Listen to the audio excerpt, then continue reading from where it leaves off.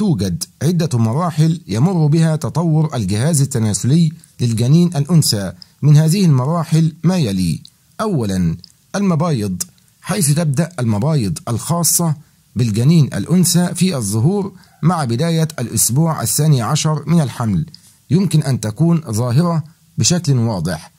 إن المبايض تحتوي على أكثر من 6 ملايين من البويضات ولا تظهر المبايض الجاهزة للتلقيح سوى مع فترة النضج للفتاة.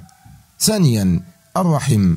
يمكن أن يتكون الرحم في ثاني الأعضاء التي تتكون في الأعضاء التناسلية للجنين الأنثى حيث يتكون بعد مرور أول خمسة أيام من الأسبوع الثاني عشر من الحمل.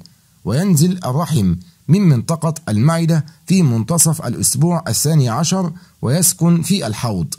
كما يبدأ الرحم في التمدد للبدء في اكتمال نموه. ثالثا الشفرتين تكتمل مع مرور الأسبوع الثالث عشر كما أنهما يكتملان معا شأنهم شأن المبايض. رابعا البذر. يبدأ في النمو مع مرور أول خمسة أيام تقريبا من الأسبوع الرابع عشر. وبعد الانتهاء من الرحم والمبايض تكتمل باقي الأعضاء التناسلية في نهاية الأسبوع الرابع عشر من الحمل. وتوجد عدة طرق تكنولوجية في تشخيص الجهاز التناسلي للجنين الأنثى. من أهم هذه الطرق ما يلي؟ يمكن تشخيص نوع الجنين الأنثى من خلال التصوير بالسونار ولكن في مرحلة متأخرة من الحمل. كما يمكن أن تظهر كافة الأعضاء التناسلية للجنين الأنثى بشكل واضح خلال عملية السونار.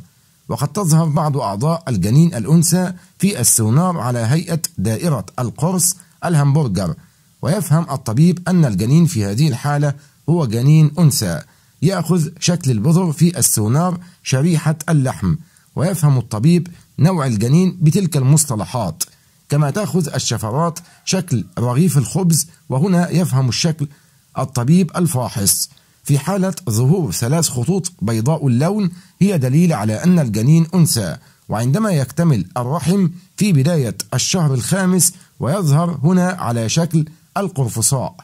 وهناك عدة أعراض تدل على أن الجنين أنثى ومن هذه الأعراض ما يلي الغثيان بشكل دائم. فهذا يدل على ارتفاع هرمونات الحمل بأنثى في الدم.